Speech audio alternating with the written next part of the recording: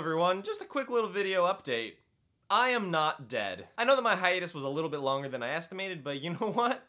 Suck on that. The last two months have been really, really crazy. Like the first month, we slept in like four different people's houses. The second month, we moved into our new apartment. I would give you all the house tour, but we're not quite settled in. We are mostly settled in, but there are still a few odds and ends that need sorting out, and as soon as those things are sorted out, I will show you the place. Unsurprisingly, I've been extremely slow on other things as well. White Guy Sings has really not progressed at all. I haven't done almost anything in terms of the new channel art for this channel, so we'll get there. But this is the internet, so let's go to the thing that you've all been waiting for.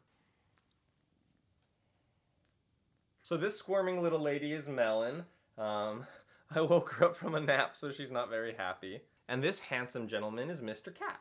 And they are a brother and sister combo. Um, they're about five months old now. Um, they're very, very, very naughty, mischievous, and very cute.